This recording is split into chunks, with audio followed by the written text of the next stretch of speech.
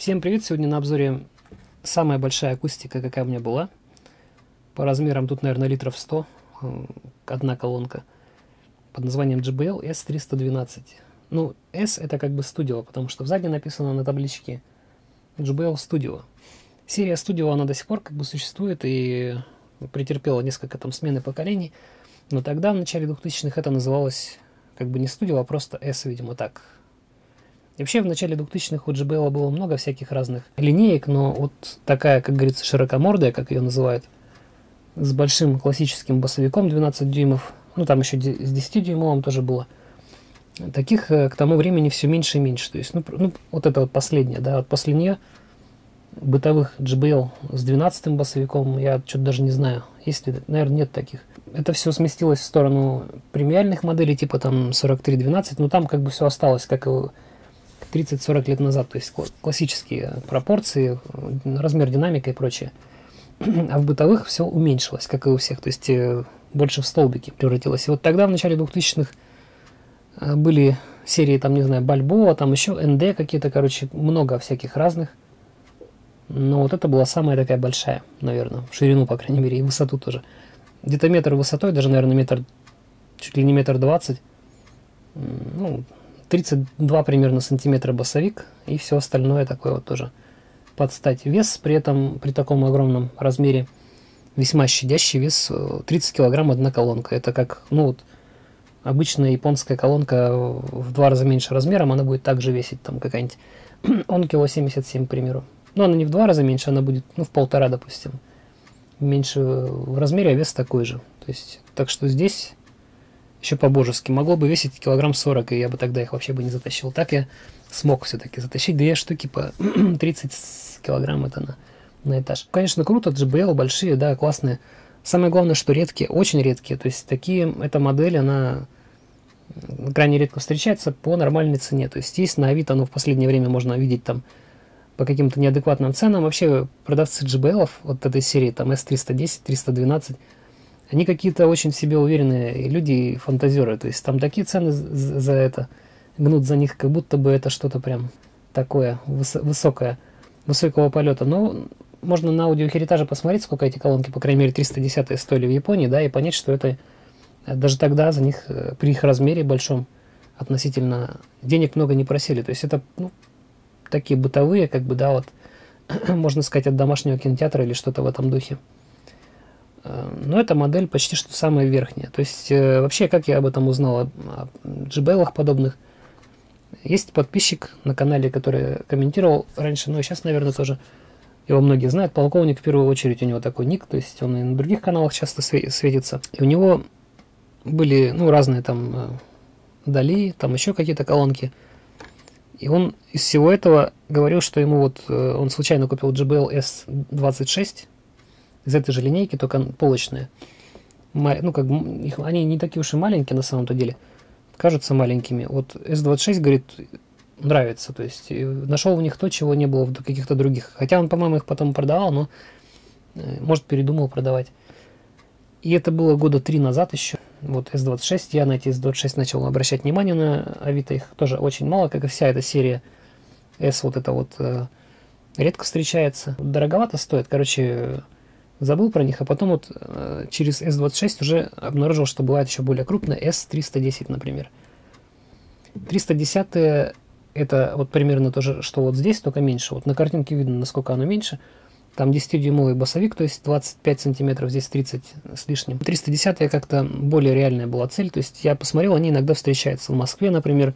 Почему-то все в Москве за там 25 типа тысяч в таком духе там были. И, по-моему, раза два или три я практически уже вот был очень близок к тому, чтобы их купить. Это, ну, вот, в прошлом году, например, появляется, но они очень быстро исчезают. То есть за ними много желающих и их продают.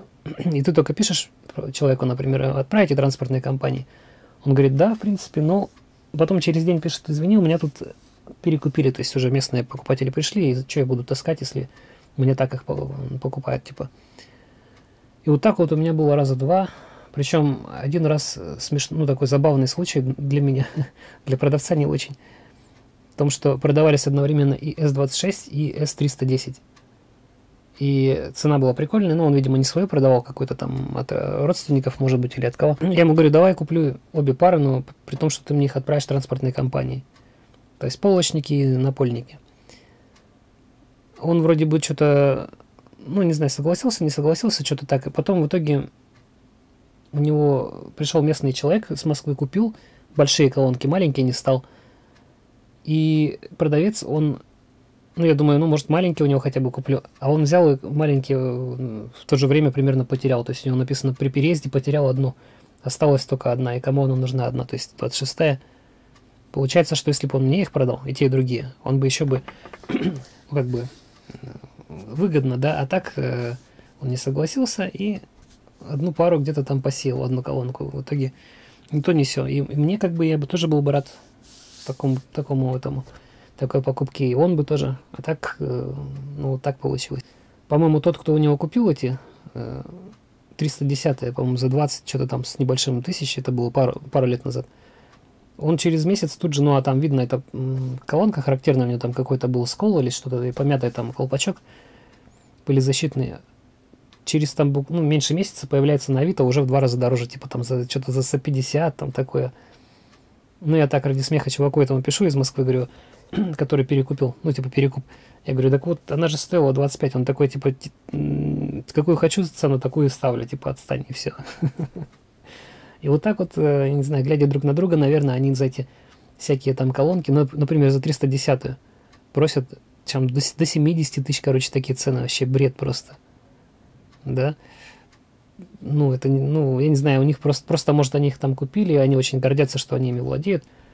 В Иркутске тоже, по-моему, кто-то есть, у кого вот такая 312. Но 312 она все-таки существенно крупнее, чем 310, поэтому она должна дороже стоить. В Иркутске, по-моему, продавал за, за что-то там 100 тысяч, короче, как будто это прям нереальный хай-энд. И написано, что типа не пишите мне, что это дорого, потому что для меня, они для меня ценные, если даже их не продам, я просто буду дальше ими владеть, и мне это нравится. Короче, ну в таком духе, то есть. А все, ну такие цены почему? Потому что вещь принципе, редкая. И на этом можно накрутить цену. Не, не, не факт, что это кто-то купит, как бы зачем. Вот опять же, за 70 что-то покупать подобное, когда недалеко уже там можно и магнат транспульс купить, он тоже большой, еще больше даже, чем это. То есть он тоже примерно вот метр высотой, но он еще и чуть ли не в два, два раза шире, там вообще охереть какой размер. Просто шкафы. Эти-то как маленький холодильник, а те тем более магнат транспульс. А насчет звука, что типа, ну, магнат хуже, чем JBL, да нет, ну, вот я как бы купил и убедился, что, что JBL, ну, это JBL, как бы звук как звук обычный. Но магия бренда, наверное, действует на кого-то, что JBL, это ж так классно звучит, такой близкий к народу, так сказать, бренд, ассоциирующийся с э, драйвом, с мясом в звуке, с каким-то рок-н-роллом там и танцами все вместе. То есть такой имидж у JBL есть, молодежный такой не занудный, то есть не какой-то мониторный. Вот, и обломавшись с 310-ми, как-то, ну, потом их уже и не появлялось, вот буквально недавно, там, несколько месяцев назад, я смотрю, просто на Авито раз появились 312 А таких я даже не мечтал, они всегда были дорогие. За 35 тысяч появились 312 Потом я, короче, у меня денег не было. Я думаю, жалко сейчас вот, упущу шанс такой. Но потом мне повезло, мне продались магнаты Zero 5, и как раз я вот купил эти JBL, они, ну, месяц, наверное, висели продажи. Ну, они как бы тоже, у них там царапинки какие-то, где-то там уголочек сзади под, подбит там с, и, с немножко содран там и так далее. Обычные следы эксплуатации, ничего особенного. Ну, колпачки тоже пылезащитные видно, что не родные, потому что родные в цвет, а эти черные. Родные, они как бы, ну, то, что в цвет, дети тыкают пальцами, например, вминается, потом ты, если даже выправишь его, там краска такая, это бумага покрашенная, такой глянцевой краской. Трещины все остаются, типа уже вид не очень, и поэтому, ну, их, видимо, заменили на колпачки, не знаю от чего, от, от советских каких-то типа ремкомплектов. Вот, ну, а здесь, здесь еще нет э, грилей, тоже в том числе отсутствует, ну, потеряно где-то. А так в остальном все работает, все такое вот, как надо. И я думаю, классно. Вот куплю. Я, конечно, понимал, что да, даже если, может быть, S26 это хорошие колонки, но зная JBL, что у них чем крупнее, тем дурнее, как бы. И, например, в случае с этими, с... У меня была линейка студио, ну, уже вот годов 2010-х, наверное, гораздо более молодая. Она до сих пор, по-моему, еще актуальная. JBL Studio 130 и JBL Studio 180. Из одного, ну, так, начального, как бы, начальная серия Studio 1.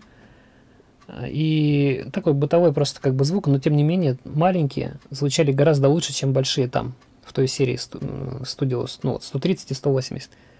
Хотя, казалось бы, у них похожие там технологии, динамики, пищалки. Ну вот, видимо, не, за, не заморачивались JBL-овцы с тем, чтобы делать э, в бюджетном каком-то классе напольные колонки такие же хорошие, как маленькие. То есть маленькие они делают нормальные.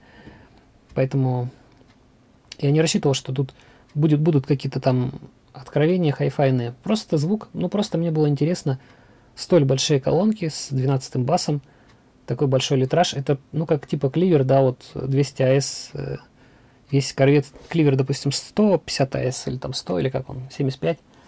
Есть 200 АС, очень редкий, который только на картинках многие видели. Он отличается просто тем, что у него больше корпус, а, соответственно, больше корпус, круче звук обычно так это бывает. То есть больше масштаб, и это всегда слышно. И вот мне было интересно послушать просто большие колонки. Хотя, ну просто как бас будет звучать. То, что СЧВЧ, ну я на это не рассчитывал, что они здесь будут какие-то там сильно крутые или что-то. Хотя была надежда на то, что, допустим, это будет ситуация, как с JBL L56. Но L56 это старые колонки 84 -го года выпуска. Они, в общем, не, не такие уж и бытовые, они достаточно из такой премиальной по тем временам серии. И L56 звучат очень грязно, похоже на советские колонки, но при этом в них вложили инженеры драйв, то есть там есть низкий бас, который заводной, то есть в целом звук 56-й модели, он заводной, он э, азартный, такой адреналиновый, и хочется делать погромче, то есть он тебя как бы провоцирует, как какая-то крутая машина, ехать быстро и включать громко. То есть он, это веселое, особенно на, на панк-роке, там, на роке, на металле. Вот, я думаю, что может быть при ну, достаточно простых технологиях, допустим, вот это вот э, 312 будет что-то такое же. То есть вроде звук простой, но при этом весело настроенный какой-то такой. Хотя, с другой стороны, это эпоха 2000-х, там уже какая-нибудь Бритни Спирс, там Эминем и прочее такое все унылое попса, и поэтому ожидать, что они будут... Ну, то есть как бы рок уже был не в моде, ожидать, что это будет что-то там больше, чем поп-музыка, тоже это было бы наивно. Как и, в общем-то, наивно вообще полагать, что любые подобные колонки могут дать какой-то уровень хайфайности крутой. А, ну вот, например, есть акустика Infinity SM. Там разные, разного размера, тоже примерно такие же есть, и может даже еще крупнее. Infinity SM такая, так, там 155, там какая-то 122 и прочее. По-моему, тоже Харман Кардон или что-то в этом духе, то есть э, один хозяин с JBL, возможно.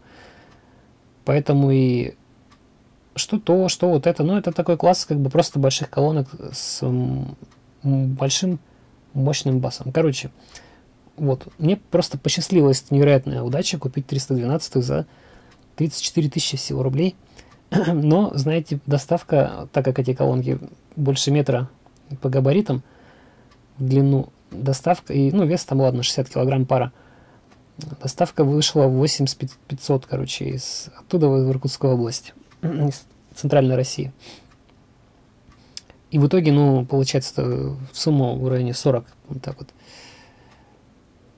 Вообще, ну, для меня вот это вот большие колонки, это такая тоже мечта, что вот когда ты не ограничен ничем, и ты, вот, например, у тебя там частный дом, не квартирка с комнатками, а вот частный дом, и ты можешь, хочу такие, хочу такие, хочу там, лишь бы в дверь пролезли, да, и вот э, купить такие штуки, тем более они редкие, тут, э, обладая вот этими L312 может гордиться просто тем, что они уникально редкие. Их там в России всего ничего, и эти, те, кто их продают там за оверпрайс, они их никогда не продадут никому.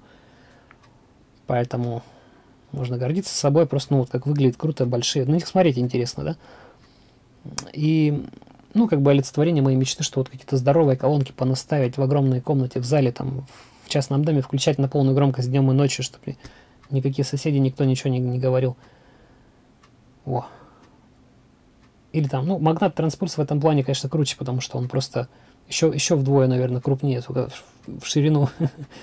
Там вообще ящики. Хотя вот насчет того, что как звучит магнат транспульс, я не знаю. Кто-то хвалит, в том числе люди, у которых вроде как э, есть, есть чем сравнить там с какими-то винтажными колонками хорошими.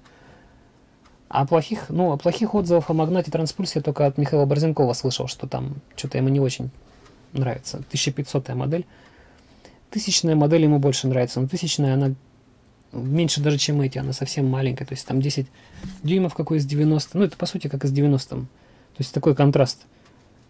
Тысячная модель как из 90, а при этом стоит тоже дорого, а 1500 она, не знаю, как 4 из 90 друг на друга поставить вот так вот. А между ними ничего нету какой-нибудь там промежуточный. Вот, значит, JBL урвал, при, купил, притащил там с транспортной все. Ну вот я сейчас могу их слушать. Ну что еще про них сказать э, такого? Внутрь я не лазил, мне вообще не интересно, что там внутри. Я думаю, там все стандартно. А, хотя через ну, дырка вот фаза инвертора большая. Если кого-то смущает, может быть, есть такие люди, кто думают, это же неправильно. Дырка, она же должна быть такая, чтобы у нее как бы давление было, чтобы воздух выходил. Нет, и, и при этом она должна быть длинная труба. Не, по правилам, по правилам создания фазоинверторов можно делать дырку хоть э, там, чтобы нога влезла практически как вот здесь. И она может быть короткая, то есть это не важно. То есть э, можно сделать как бы узкую и длинную, а можно сделать широкую и короткую трубу. так что нифига это не страшно, и то, что там бывает и поболее, наверное, в каких-нибудь сабвуферах. Вот на канал Азвука у него было видео про саб сабвуферы, то, что они многие сделаны совершенно неправильно – Потому что надо либо очень длинную трубу делать, либо вот такую дырень, в которую не то, что там нога, две ноги влезет, но это будет выглядеть типа странно для потребителя. Он скажет, а что у меня дырявые колонки? Это, это типа не труба, это просто дыра. Но, но зато эта дыра будет правильно работать, именно как инвертировать фазу баса и все такое. Ну и, в общем, эту дырку фонариком светишь, там есть какой-то войлок с завода на, на стенку, все, что я оттуда увидел. Дальше я их начал слушать. То есть я, конечно, сегодня не первый день слушаю. И, ну, ничего такого, честно говоря, сюрпризов никаких нету. Просто звук, бас, да, бас прикольный, бас большой, то есть литраж дает о себе знать. Хотя, может быть, и не в, таком, не в такой степени, как я себе представлял, но это слышно, что это другой бас. И чем крупнее корпус, тем, тем круче, то есть как бы масштаб, все такое. Бас достаточно низкий, кишки трясутся, но не, не то чтобы там он даже не то, что низкий, он именно на громкости. То есть на маленькой громкости не особо раскачается, а вот на средней, то есть они, а эти колонки явно созданы, чтобы играть громко, только надо не забывать убавлять ВЧ перед этим. Это правило хорошего тона. То есть если вы хотите, как любые колонки, включать э, близко к их пределу, нужно всегда ВЧ убавлять, чтобы у вас был запас для этих ВЧ, чтобы их сберечь. Ну, это как у вас машина, допустим, может ехать быстро, но вы же не едете на полной скорости в каждый поворот вы примерно прикидываете, вот, что так, чтобы заехать в поворот быстро, например, если нужно, ну, чтобы с него не вылететь, да, не в кювет, не наружу, дозируете газ. Поэтому также и с любыми колонками, если, если блядь, там стоят ВЧ, это не значит, что они должны выдерживать все, что можно, то есть полную громкость. А ВЧ это всегда слабое место, и нужно их всегда поменьше делать, поменьше. Если ты хочешь, ну, на, на маленькой громкости ничего им не будет, да, на средней, в принципе, тоже. На высокой, если ты хочешь прям дискотеку устроить, нужно всегда ВЧ убирать почти минимум, а, и потом уже потихонечку добавлять, ориентируясь на слух, чтобы когда он, ну, когда он уже прям сильно будет э, цикать, чтобы он не, не перегорел, короче, вот так вот, понимаете? Здесь все работает, но просто такие правила, если кто совсем тупой, например, не знает, молодые там люди какие-то, что бережно нужно к печалкам относиться и на любых колонках когда включаешь громко. И все, и будет у вас жить долго и счастливо. Басовик-то он, ну, вряд ли он хрюкнет. То есть, ну, у него, ну, допустим, у басовика предел большой громкости, а ВЧ у, у него меньше, если э, уровень высокий ставить. Если уровень там средний, если низкий ставить, то тогда ВЧ как бы э, уровень предельный басовика и ВЧ, он уравнивается примерно, понимаете? И тогда уже, то есть, ваша, короче, ваша система, я даже нарисую сейчас какой-нибудь график такой, более понятный что убирая пищалки поменьше делая, на высокой громкости вы как бы поднимаете общий уровень вашей э, системы до того, как она там хрюкнет. То есть она может громче играть.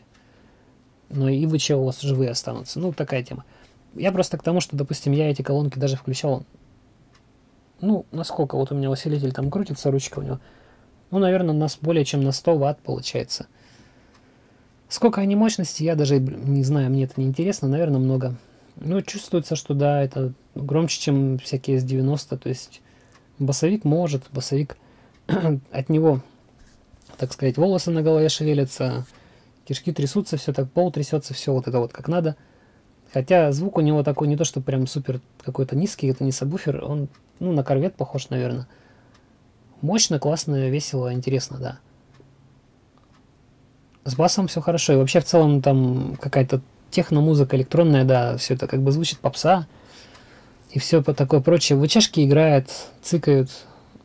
Средняя тоже играет, слышно, что играет обе. Ну, возможно, из-за среднечастотников, что они простоватые. Я не думаю, что из-за того, что на них колпачки наклеили чуть больше, чем нужно. Это вряд ли на звук влияет. Колпачки, ну, скорее всего, от каких-нибудь советских динамиков. Они же бумажные, они ничего не весят. Резинотканевый подвес, кстати, у среднечастотника. При этом среднечастотник меньше размером, то есть, чем стандарт советский, типа там ГДС, например, или что-то. Размерчиком он поменьше. И, короче, слушая эти колонки, вот э, возникает вопрос к средним частотам в плане того, что, ну, в целом звук нормальный такой, фоновый, все такое. Ну, как бы слушать можно, но интереса маловато его слушать, потому что он звучит скучно, не передает нюансов звука, он их просто съедает, вся эта система, но это именно в первую очередь касается, наверное, среднечастотника. Проглатывает все нюансы звука, и, соответственно, звук получается какой-то такой, вроде как радио, вроде все слышно, но при этом неинтересно. Вот такая тема.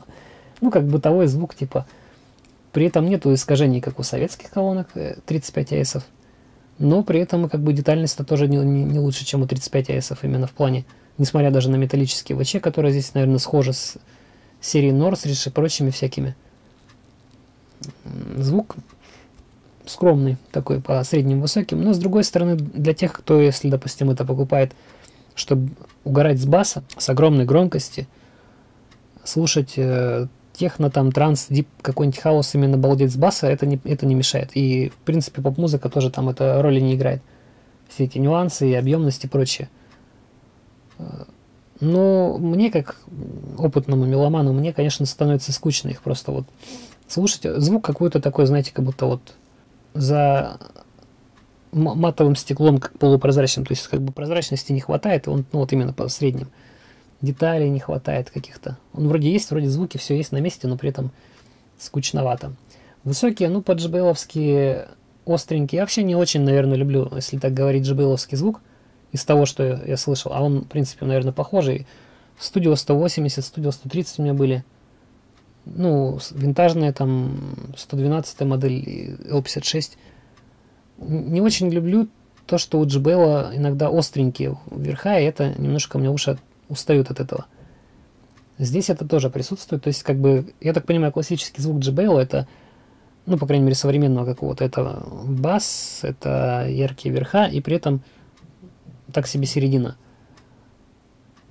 Но верха бывают порой слишком. Хотя здесь они слишком, когда ты их поднимаешь. Если ты их убавишь там на среднюю или поменьше, все нормально. То есть никаких к этому вопросов нету. То есть, э, ну, колонки, ну, тупо расколбасные, как бы. Средние, высокие, ну, как бы, я не знаю, как, вот, как у советских типа колонок примерно. Высокие лучше, конечно, потому что они не цикают, там нет никакого полиэтилена, никаких каптона там и прочего, алюминиевый купол. Но вот что-то не хватает мне средних частот, и, наверное, допустим, если я бы их себе оставлял, а я себе их все-таки оставлять не буду, эти колонки, я бы туда поставил, ну, попробовал, например, может быть, даже в следующей серии попробовать среднечастотники какие-то, ну, подбирать можно индивидуально. Вот, например, у меня есть Иволга, э, как она там, Иволга mid, ну, mid, mid-range, короче, среднечастотник, это вроде, я не знаю, он какого, российского или китайского производства. Они есть на Авито там сейчас за 3000, но одна горелая. Дело не в, не в том, что это Иволга, ну, купольный динамик, да, а в том, что он просто по размеру. То есть, вот, если здесь менять динамик на какой-то более крутой, то советские все варианты стандартные раз, размера, они не подходят, они слишком большие под эту дырку. А вот Иволга, она примерно как раз, может там проставочка понадобится или нет, но она как раз, по-моему, подходит один в один. То есть размер у нее тут, наверное, не указан, сколько дюймов или чего-то. И я думаю, что она от 600, до, тут написано до 7000 Гц, все должно хорошо получиться. Короче, можно творить, можно, ну, если, кому-то, наверное, большинству и так нормально будет. Но если ты хочешь сделать лучше, всегда можно сделать лучше. И, ну, допустим, кто-то скажет, нифига, я купил, я, допустим, и буду продавать за 40, к примеру, да? Кто-то скажет, я купил за 40 колонки, еще и должен там что-то менять. Не должен, потому что оно и так более-менее звучит, уж точно не хуже, чем любая бытовая там какая-то акустика, ну такая, а там от домашних кинотеатров и прочее. Но на Hi-Fi это как бы не особо тянет в плане детализации. Поэтому можно это все улучшить, ну, при желании, просто а, как опция, да, самостоятельно, поставив, например, лаз динамики от э, Alp Music или что-то подобное. На Алиэкспрессе куча вариантов. Другое дело, что их придется куда-то сверху ставить, а вот такого размера, как Иволга, таких вариантов тоже много. Просто более качественных среднечастотников.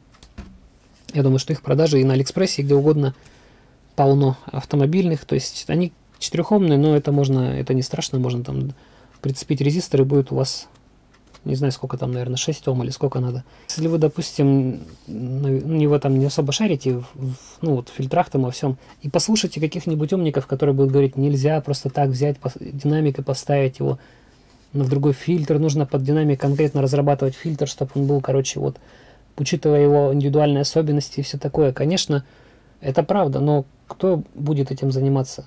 То есть, если вы инженер, конечно, может, вы сделаете фильтр. Большинство никто это не сможет сделать. Это слишком заморочено и сложно. Но при этом можно просто хороший динамик ставить на неродной фильтр, и ни хрена плохого не будет. Вообще ничего. То есть э, он будет, если он динамик лучше, чем тот, который там стоял, вот, например, здесь не очень, да, среднечастотник, и Волга явно лучше. И насрать, какой там фильтр вообще похеру. Просто вы ставите другой динамик, и он будет играть в разы лучше. Конечно, если под, под Иволгу сделать, например, фильтр, у нее, кстати, есть фильтр, у них, у них же это, он, он лежит штатный, то есть э, они подключаются в автомобиле прямо к, напрямую, да, к усилителю. У нее есть свой фильтр, так что можно и так использовать его. Ну, там это уже заморочки. То есть э, фильтр это лишь причесывание звука. Да, конечно, ну, типа с фильтром будет получше, если индивидуально под каждый динамик его делать. Но можно и просто вляпать куда угодно вот так вот, если она по параметрам по срезу частот динамик совпадает, допустим, вот, ну, стандартного трехполоски, там срез, наверное, от, ну, разные бывают, ну, допустим, от столько до столько, да, и вот динамик, например, и Волга от 600 до 7000, но я думаю, что он точно влезет в любые срезы. И все, поставил. Ну, чувствительность может не совпадет, он чуть громче играть, может чуть тише, это можно корректировать резисторами и так далее. Но это в любом случае тюнинг. А зачем ставить на этом крест и говорить, не, вот мне там какой-то дядя сказал, что нужно обязательно делать фильтр, да, а иначе будет вообще плохо. Не будет неплохо, будет лучше, чем есть. В любом случае это будет лучше, чем есть. Так что нефиг слушать там всяких этих. Э, конечно, если в идеале, в идеале там по, по правилам, там надо делать все по правилам. Но так можно просто туда-сюда динамики перевтыкать, и это будет лучше, если динамик просто круче и дороже. Поэтому даже вот из этого скромного звучания JBL, мощ, мощного, басового, но скромного, по средним там, может быть, даже высоким частотам, можно сделать все, что захочешь. Даже на родном фильтре, я не знаю, как он, может, может он там какой-нибудь вообще смешной, как в музыкальном центре я не смотрел. Но он все-таки есть, он что-то там фильтрует, и, ну, я не знаю, если денег много, на аудиомании покупаешь какой-нибудь там скан спик, чтобы по размеру поставил, и будет у тебя охеренный звук. В любом случае. Ну, если повезет, если все как бы срастется. Такая история. Что касается всяких там других JBL, да, у меня была когда-то э, желание купить Northridge. Northridge это такая популярная в 2000-е годы модель серого цвета, там разные они были.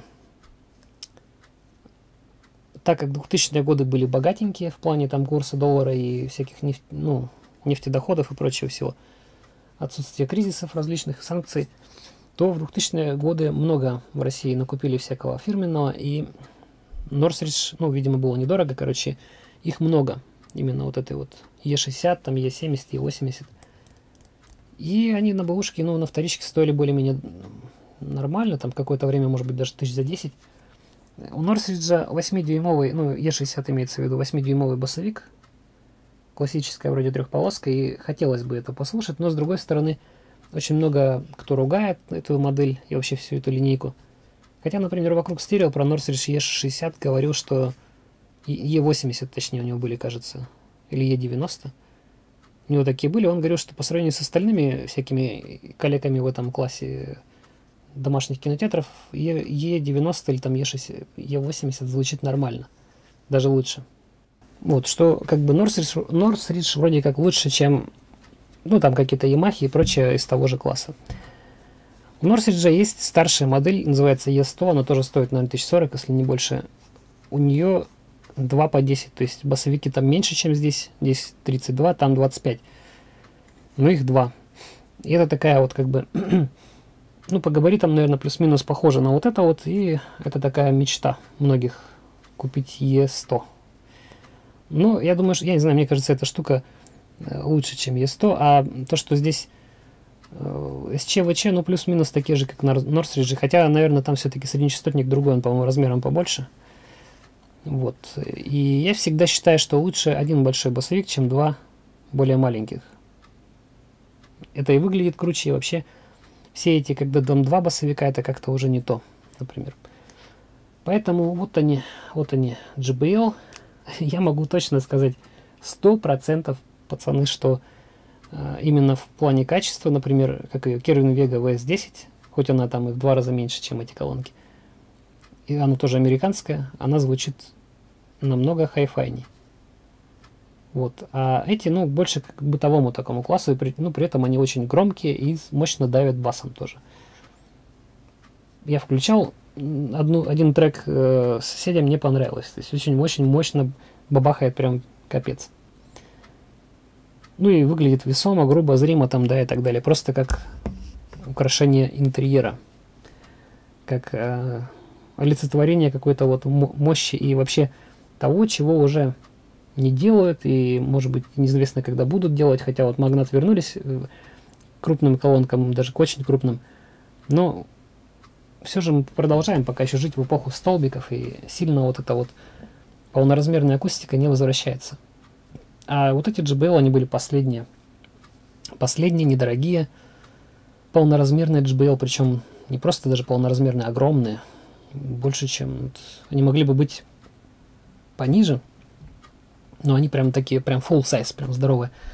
Вообще, если говорить про название, то, ну, последний такой факт интересный в том, что они называются, допустим, S26, S38, есть модельные, э, ну, модели в линейке. Первая цифра означает количество полос, допустим, двухполосная 20, да, ну, двоечка первая. Вторая цифра 6 это размер басовика 6 дюймов, то есть 38 это как Vega 309, она, у нее три полосы и 8 дюймов басовик, как у Vega, собственно говоря. И размер такой же. 310 это 3 полосы 10 дюймов, вот это 312 3 полосы 12 дюймов. Есть еще 412, у которой 4 полосы, то есть круче, чем это, ну, на, на ступенечку так. Ну, по сути, то же самое, только там что-то добавили еще. 412, где 4 полосы 12 дюймов. А выше, по-моему, ничего и нету. Ну, были там и альтернативные какие-то линейки, там какие-то ND, например, вот у кого я купил, цены были низкие, потому что, видимо, человек распродал какую-то коллекцию.